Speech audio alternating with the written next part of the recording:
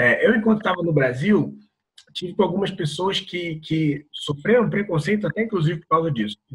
Saíram do Brasil para passar algumas semanas ou alguns meses, dois ou três meses em Portugal, para fazer missões. Uhum. Tudo é válido, eu acredito, né? Tudo é válido, mas para a realidade portuguesa, é, é, isso é o ideal, Israel? Uhum.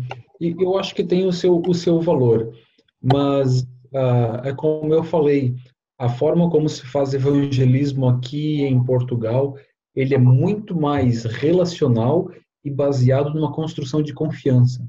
Em dois ou três meses é muito difícil você construir confiança em um relacionamento profundo com as pessoas. E de modo que uh, uh, em dois ou três meses você pode talvez desenvolver um projeto mas e a continuidade desse projeto? E os frutos, não é? é quando você pensa que para estabelecer uma igreja aqui em Portugal, você precisa entre uh, 7 a 10 anos para ter uma igreja estabelecida com uma média de 50 membros, que já é muito bom, 50 pessoas a aprender.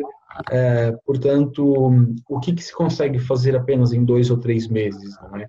É, existe a sua relevância quando conectada com uma igreja local ou quando conectada a um projeto já existente. Ah, portanto, é, mas, mas sim, de forma mais relevante, o, o projeto missionário deve ser feito ah, a longo prazo. Não é? A longo prazo. Bom, muito interessante isso. E enquanto você falava, eu me lembrei também que aqui eu fui, eu fui contactado por um projeto é, e até convidado para trabalhar no projeto e, e da, junto com a organização, com o Conselho Nacional de Evangélicos da França, onde eles falaram que para você plantar uma igreja aqui são de 10 a 15 anos. Então é uma realidade Bom. completamente diferente do Brasil. Sim, né? é verdade.